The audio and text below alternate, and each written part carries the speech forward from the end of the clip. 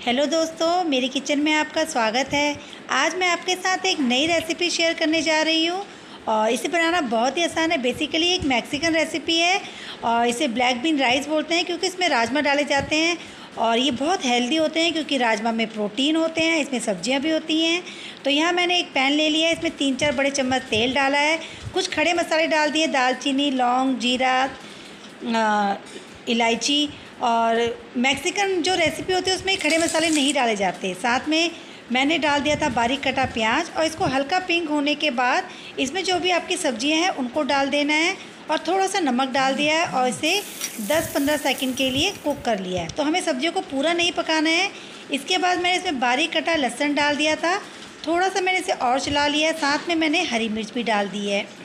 तो इसे थोड़ा सा कुछ सेकेंड और चला लेंगे। तो सब्ज़ी हमारी पूरी नहीं पकनी चाहिए।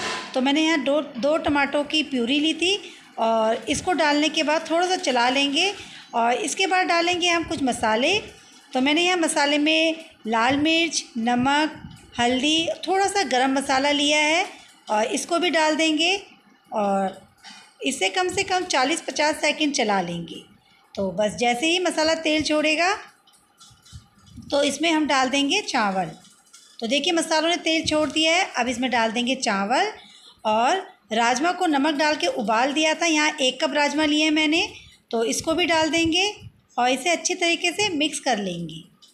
बस ध्यान से मिक्स करना है इसे, ताकि जो आपके चावल है ना, वो टूटे ना। तो बस ये चावल हमने मिक्स कर दिए हैं। अब चावल के अकॉर्डिंग हम इसमें पानी डाल देंगे। तो जैसे कि मैंने यहाँ एक कप चावल लिया था तो मैंने यहाँ पर दो कप पानी डाला है इसमें।